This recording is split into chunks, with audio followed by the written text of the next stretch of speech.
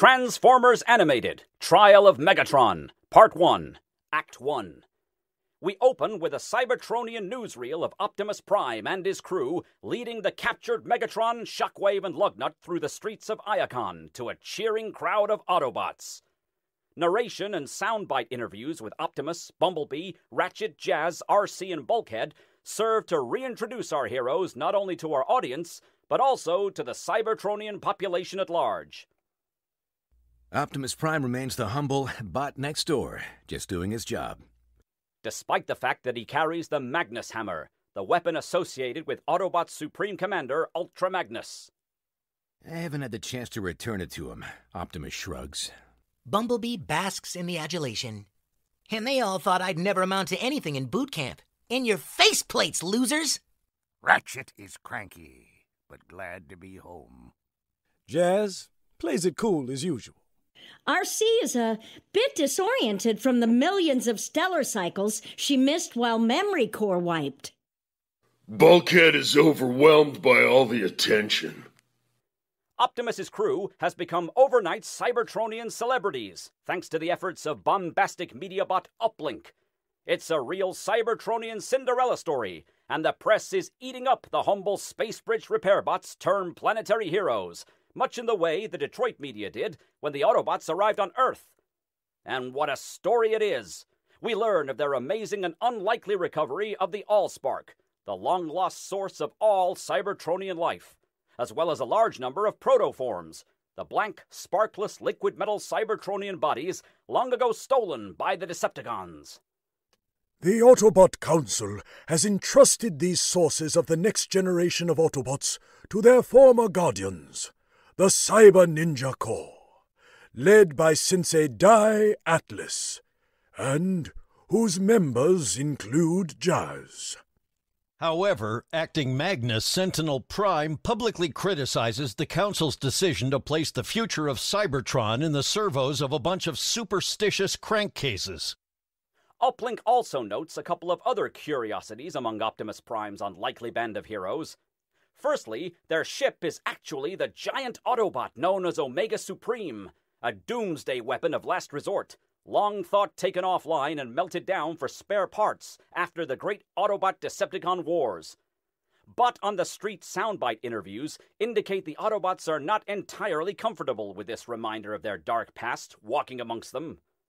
Secondly, Optimus Prime's crew also includes the techno organic humanoid curiosity known as Sari. If the bots on the street are uncomfortable with Omega Supreme, they're downright phobic of anything remotely organic, or at the very least, grossed out. Uplink declares Optimus Prime responsible for the single most significant Autobot victory since the great Autobot Decepticon Wars. Uplink even suggests that Optimus would make an excellent Magnus and the bot on the street reactions show an overwhelming number of Autobots in favor of Optimus as successor to the gravely injured Ultra Magnus. However, Sentinel, in a soundbite interview, downplays his rival's Magnus potential, as well as his recent achievements. I caught my share of cons myself, he declares to Uplink. It's one thing to catch 'em; it's quite another to keep 'em caught. And where does Sentinel Prime keep 'em caught? In the brand new state of the art Trypticon prison, located in the heart of what was once the Decepticon capital city of Kaon.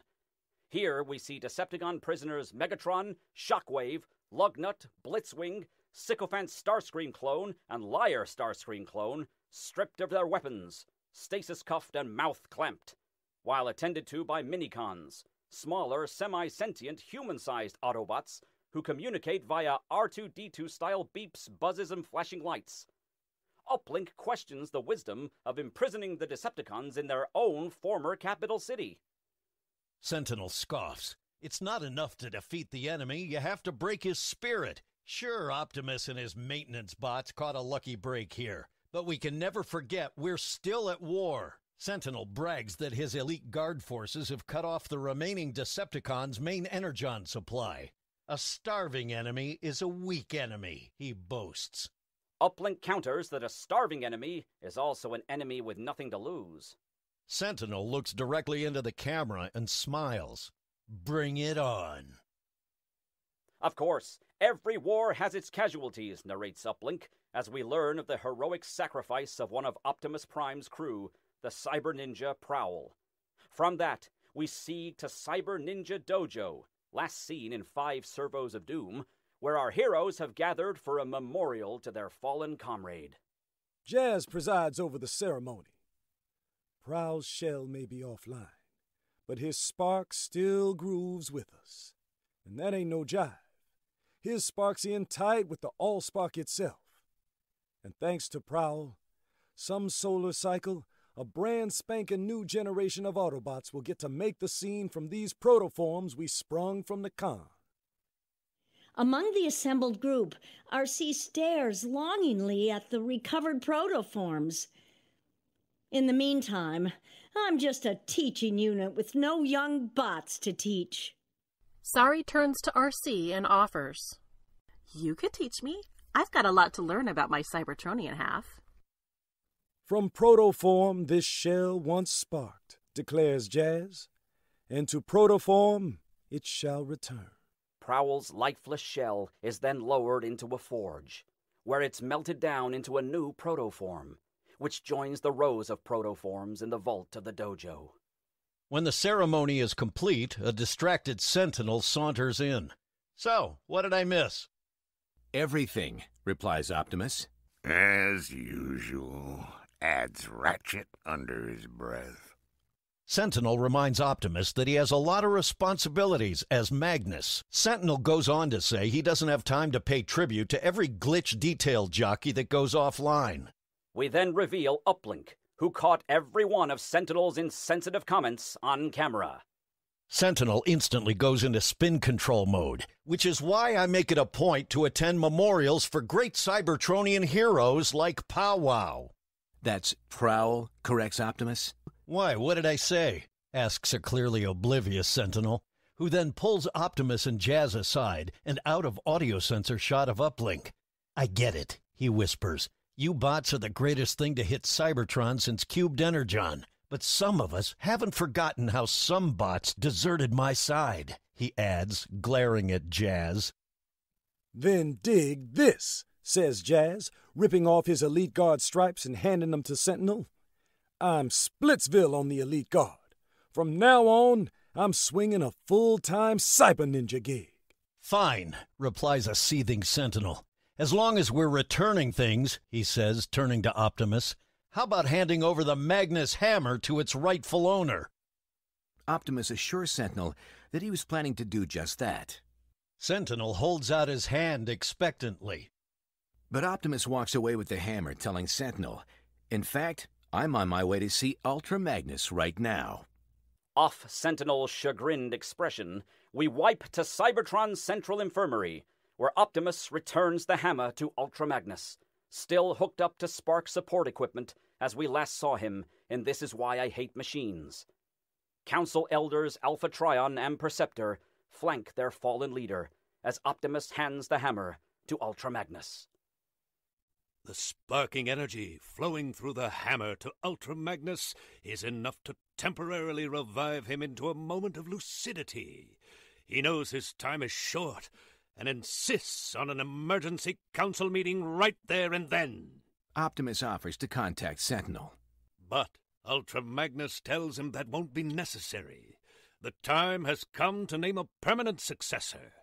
Sentinel Prime has the elite guard experience, but the Council must also take other factors into consideration. We need a leader who can inspire all Cybertronians and guide us into the future, declares Ultra Magnus. Optimus Prime, I once told you that being a hero wasn't in your programming. I've never been so pleased to be wrong.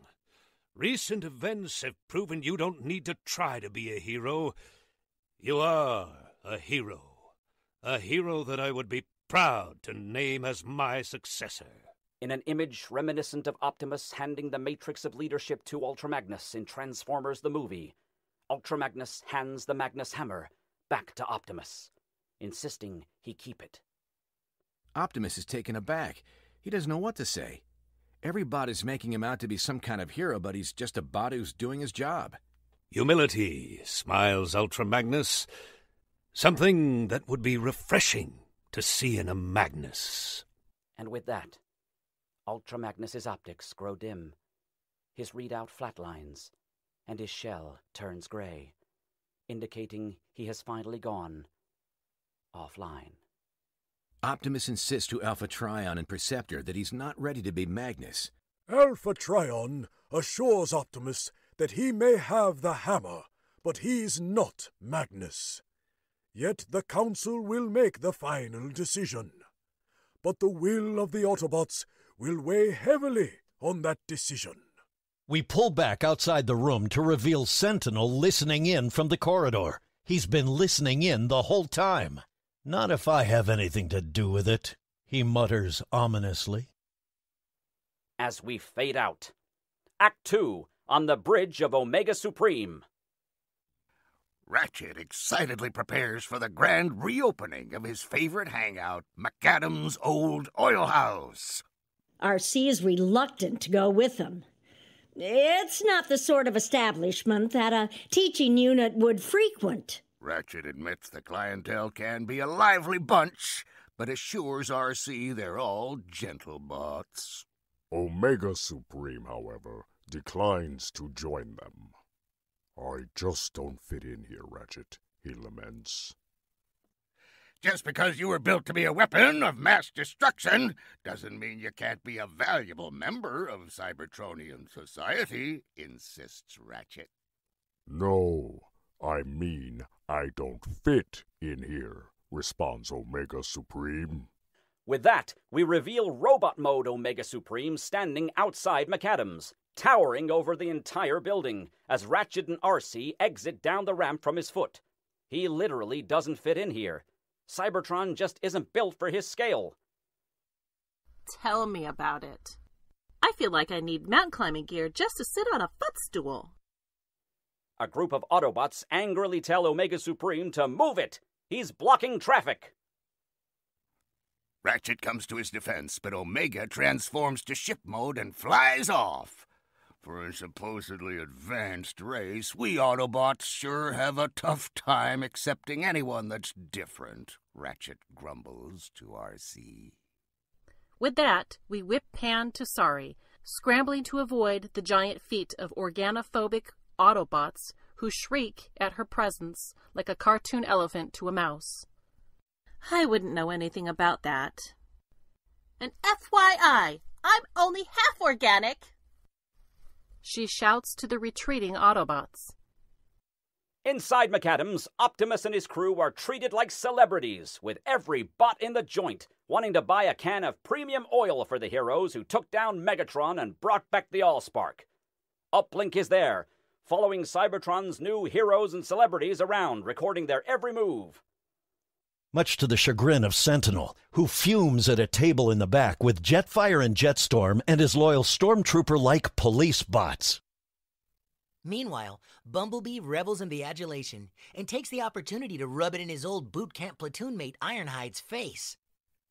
Bulkhead tries to get his buddy to just let it go. Ratchet and Arcee try to have a conversation, but can't hear one another over the din of noise. Sari is not having much more fun as she scrambles to avoid getting stepped on by giant Autobot feet. She needs her jetpack just to keep at eye level with her Autobot friends. Plus, she's not much of an oil drinker. Apparently, she's got enough Allspark energy stored up to sustain her indefinitely. Still, I could really go for the burger bot right now. She laments to Bulkhead. Meanwhile, sleazy Autobot Rattletrap, that's me, tries to mooch some oil while shooting his trap off about some rumors he's heard about Optimus Prime actually being named Magnus. He gets Uplink to scan a photo of himself and Optimus for posterity. While Optimus tries to downplay the rumors as mere speculation. But then Sentinel butts in, hopping mad. He's heard the rumors too, and he won't stand for it especially the part about Optimus keeping the Magnus hammer. Optimus tries to calm Sentinel. But Bumblebee makes matters worse by jumping on a table and toasting Optimus Magnus to the cheers of the crowd. Optimus blocks Sentinel from throttling Bumblebee. Leave him alone. It's just the oil talking. But Sentinel takes it as an aggressive move and sicks his police bots on Optimus. Which results in a classic barroom brawl as every bot in the joint comes to Optimus's defense. Gentle bots? Arcee says archly to Ratchet as an Autobot comes flying back and smashing into their table. Optimus has to use his jetpack to rescue Sentinel from the angry mob and fly him above the fracas. Uplink captures the whole thing on his vid scanners and broadcasts the story on the Cybertron Information Network the next day, clearly pinning the blame for the brawl on Sentinel's abuse of power, and repeatedly showing the footage of Sentinel's humiliating rescue by Optimus. Uplink urges the bots of Cybertron to be the judges on who would make the better Magnus. Sentinel's energy lance smashes the giant vid screen displaying the broadcast. He needs some spin control and fast. Later, in a Cybertronium classroom, Arcee eagerly prepares her materials for sorry Cybertronian education. Ratchet shows up with a gift for Arcee, sort of an apology for their disastrous night out at Maccadam's. It's a pair of laser swords. I was trying to make laser pointers for your lectures, but I think I got a little carried away. Ah, Arcee thinks it was very thoughtful of him. Ratchet stammers that maybe they could try again to have a night out together. Somewhere quiet this time. Arcee smiles. I'd like that. Then how about tonight? asks an eager Ratchet. Before Arcee can answer, however, Ironhide rolls into the classroom and informs Ratchet he is to report to the Metroplex right away on orders of acting Magnus Sentinel Prime. Ratchet reluctantly rolls off with Ironhide. A little later, Ironhide and Ratchet arrive in the former Project Omega lab, where Sentinel has assembled Cybertron's top scientific minds and technicians, including Perceptor, Wheeljack, and Red Alert.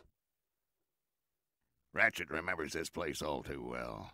Whatever Sentinel has in mind, it can't possibly be good.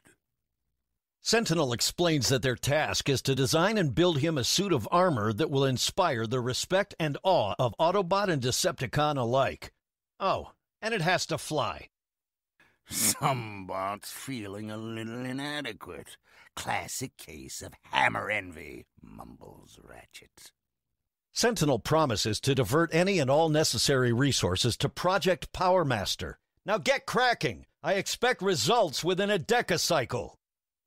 As Sentinel leaves, Ratchet grumbles. And maybe while we're at it, we can turn water into energon. Wipe to deep space, where an oil tanker like cargo ship transports a shipment of energon to the asteroid posts on the far edge of the galaxy.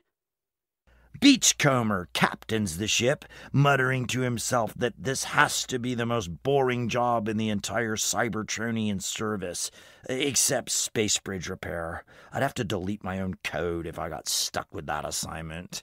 Space bridge repair. Yuck. Suddenly, all the lights go out, and the ship powers down. Oh no.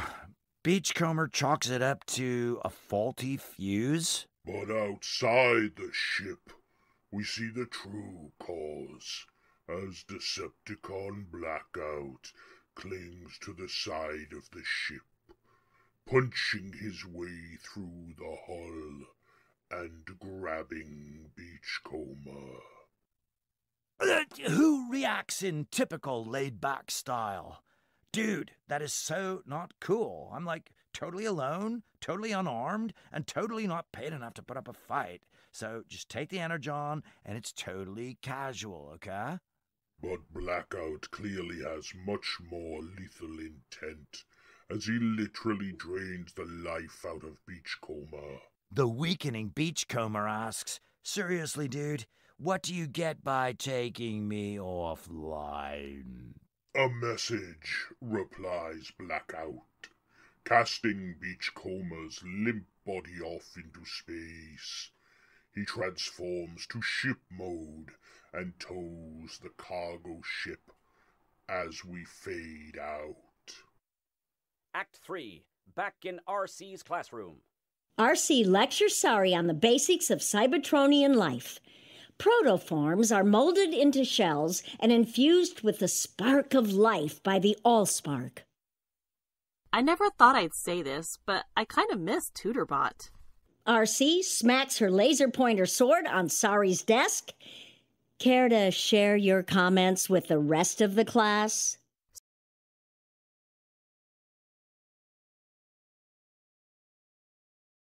Um, I am the rest of the class.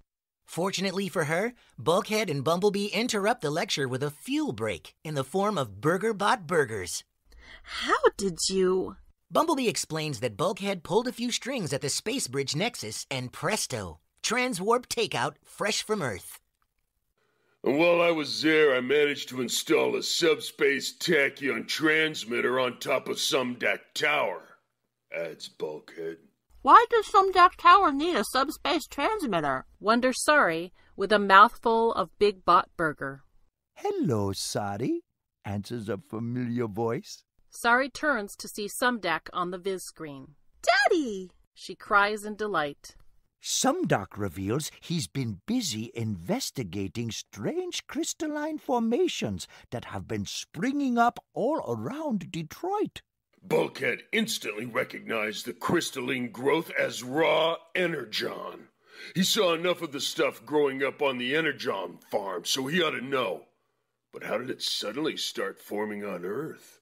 Chemical reaction from the Allspark shield Prowl made when we last fought Megatron. Sari replies knowingly. Arcee compliments her star pupil on her intuitive understanding of Cybertronian geology. Must be the protoform in me. Sari shrugs, standing next to a sample protoform in the classroom. So, does it look like my baby pictures? Hmm, Sumdac doesn't recognize the protoform. Are they all that big? He asks. The one he found in his lab was human size. That's impossible, insists Arcee. Protoforms are uniform size.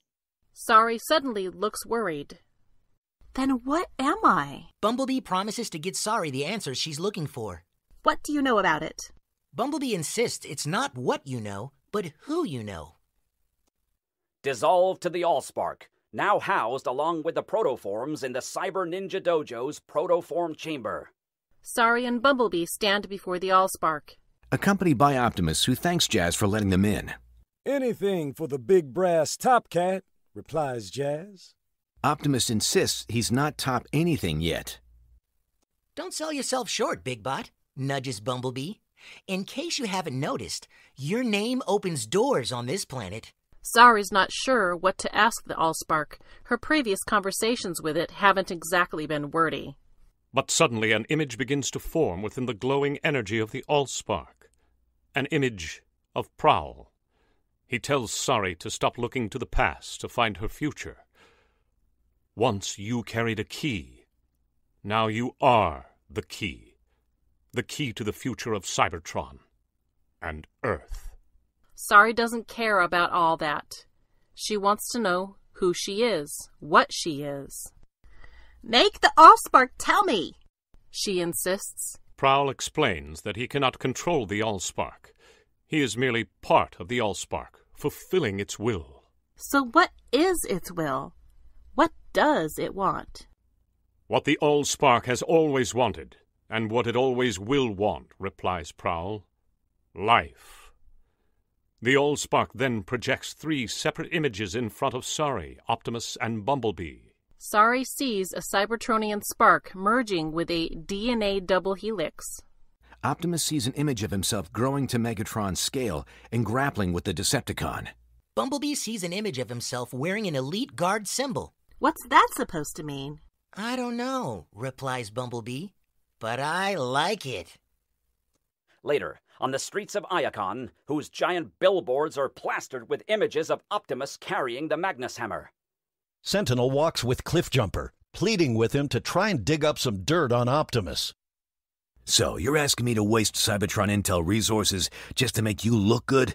Cliffjumper asks incredulously. It's not about making me look good, asserts Sentinel. It's about making him look worse. Cliffjumper insists it's still not part of his job. Not an official part of your job, counters Sentinel. That's why I'm asking you here, outside the Metroplex. Not as your superior, but as your friend. You're neither, replies Cliffjumper. And as far as I'm concerned, this conversation never happened. Sentinel calls to Cliffjumper, who walks away. So, you gonna help me with this, or what? But another voice calls to Sentinel from the shadows. I can help you. It's Rattletrap, who insists he's a bot of all trades who knows how to get stuff. He offers Sentinel a photo of Optimus palling around with Megatron, who has his arm around Optimus's shoulder. It's obviously a sloppily cropped image of the photo of Rattletrap and Optimus in Maccadam's, with Megatron's head inserted over Rattletrap. Sentinel shoves Rattletrap aside, confiscating the photo and threatening to have Rattletrap arrested if he ever sees him again. Sentinel walks away, examining the photo, musing to himself, You know, if we clean this up, it might actually work. Meanwhile, Bulkhead returns to the Energon farm on Cybertron's moon. He has a sample of the raw Energon he transwarped in from Sumdac on Earth, which looks much healthier than the withered crystalline formations growing in the fields. Tractor, a grizzled old farmer bot, test Bulkhead's sample. It's ten times more potent than raw Cybertronian Energon. Unfortunately, it's got organic components, so they couldn't grow it on Cybertron. Too bad, though, muses Tractor, looking at the dismal Energon crystals in the field. Crop's been getting worse every year. Holding up Bulkhead's Earth Energon sample, Tractor declares whoever controls this stuff controls the future of Cybertron. Cut to Sentinel's office in Fortress Maximus, where Sentinel, flanked by Jetfire and Jetstorm, has summoned Bumblebee. I'm talking about the future of Cybertron, Sentinel purrs to Bumblebee, but mostly I'm talking about your future in the Elite Guard. We need heroes like you. I need heroes like you. Bumblebee is taken aback. Wow, it's almost like the Allspark willed it or something. Sentinel smiles, holding out an Elite Guard symbol tantalizingly to Bumblebee. Now, of course, there's just the small matter of your public endorsement of me as Magnus. Bumblebee's face falls. He knew there had to be a catch. He's not sure he could betray Optimus like that. Don't think of it as betraying Optimus, asserts Sentinel. Think of it as securing your destiny. Bumblebee is torn. He asks Sentinel if he can think about it. Absolutely, says Sentinel. You have one solar cycle. After Bumblebee leaves, Jetfire and Jetstorm question why Sentinel must resort to bribery to gain endorsements. Sentinel insists this is war and he's doing what has to be done, but it's still not enough. He still needs some bot to shadow Optimus and dig up some dirt on him. Jetfire and Jetstorm volunteer. But Sentinel shoots that down. They're too obviously in his camp. At that moment, Ironhide rushes in with an important message for Sentinel. Who ignores him while he muses, I need some bot anonymous, some bot you'd never notice, some bot who just fades into the background and doesn't call attention to himself. The whole time he says this, Ironhide tries in vain to get Sentinel's attention. Until Jetfire and Jetstorm finally point him out. Sorry, didn't notice you there. Say, the gears suddenly turn in Sentinel's head. Ironhide reports increased Decepticon activity moving in toward Cybertron from the galactic rim. But Sentinel is more fixated on his plan. He offers Ironhide a new assignment as Optimus Prime's Shell Guard. Clearly, a great hero like Optimus is a Cybertronian treasure that needs protection. He tells Ironhide to stick to Optimus like space barnacles and report back on everything he observes. Everything. Back on the Energon farm, Bulkhead relaxes, remarking how much more peaceful and quiet it is here, not like the hustle and bustle of Cybertron. Unfortunately, that peace and quiet is short lived as a Decepticon strike team, led by General Obsidian, swoops down on the Energon fields, and we fade out.